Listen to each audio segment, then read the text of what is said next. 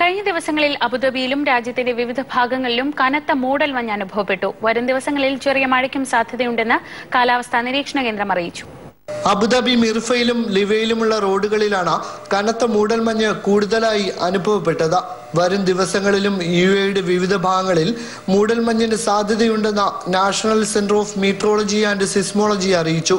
തീരപ്രദേശങ്ങളും ദ്വീപുകളും മഴമയങ്ങളാൽ മൂടാനും സാധ്യതയുണ്ട്. ഇത്തരം സാഹചര്യങ്ങളിൽ ഡ്രൈവർമാർ സൂക്ഷിച്ചു വാഹനം ഓടിക്കണമെന്ന് പോലീസ് ആവശ്യപ്പെട്ടു. കഴിഞ്ഞ ദിവസങ്ങളിൽ രാവിലെ ഉണ്ടായ കനത്ത മൂടൽമഞ്ഞിനെ തുടർന്ന് ഗതാഗതക്കുരുക്കും അനുഭവപ്പെട്ടിരുന്നു. മൂടൽമഞ്ഞിൽ ദൂരക്കാഴ്ച കുറയുന്ന സാഹചര്യത്തിൽ അപകടങ്ങൾക്കും സാധ്യത ഏറെയാണ്. വാഹനങ്ങൾ തമ്മിൽ നിശ്ചിത അകലവും സുരക്ഷിത വേഗവും പാലിക്കണമെന്നും പോലീസ് നിർദ്ദേശിച്ചിട്ടുണ്ട്. മൂടൽമഞ്ഞിനെ തുടർന്ന് അബുദാബിയിൽ നിന്നുള്ള നിരവധി വിമാന സർവീസുകൾ റദ്ദാക്കി. മറ്റ് ചിലത് ദുബായ് സെന്റർ അലൈൻ അൽബത്തീൻ തുടങ്ങിയ വിമാനത്താവളങ്ങളിലേക്ക് തിരിച്ചുവിട്ടു. Mathrubhumi news Abu Dhabi.